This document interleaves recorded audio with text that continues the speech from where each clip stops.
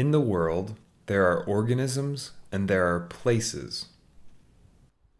Over millions of years of evolution, a complex system arose in which most creatures make claims to these places by using universal information messages like this.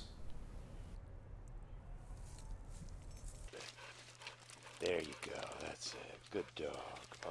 Goodness.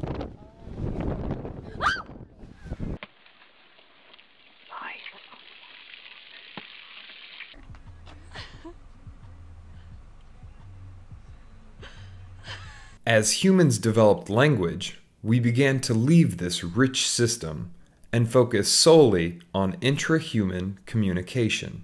Now, the way that we make a claim to a place is like this.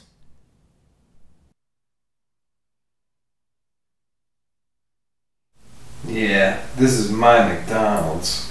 But how can you have true ownership of a place if most of the neighboring organisms know nothing about your claim? Moreover, have you really made a claim to the actual location, or simply claimed part of its virtual copy? So now, as an initial attempt to repair this rift between the physical and digital worlds, I've developed a new system for claiming areas called Mark Your Territory. First, each individual carries around a set of enhanced business cards. The poking end lets you literally stake claims in naturalistic environments, and the adhesive backing enables its use in more urban settings. To activate your check in, you must physically travel to the destination. Connect the marker to your portable device. And effectively urinate onto it and the surrounding location. As in nature, the quality and thought put behind your act influences several characteristics of your claim to this territory.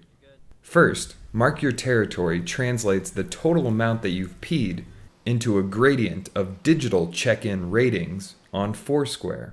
If you manage to fully wash off the silver coating, others will learn more about your claim to this territory. Additionally, the pH of your pee is measured, leaving an unbiased profile about your diet for others to examine. Since the markers are fully decomposable, everyone must work hard to maintain their ownership of a particular venue. The markers also come bundled with internal seeds and dirt. These are activated with each physical check in.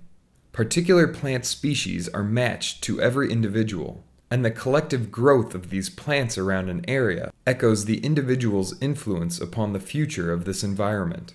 Instead of just regressively shunning the digital world, or severing our connections to the physical environment, this system works by tying together the physical sensing capabilities of an Arduino with the digital interconnectivity of an Android smartphone.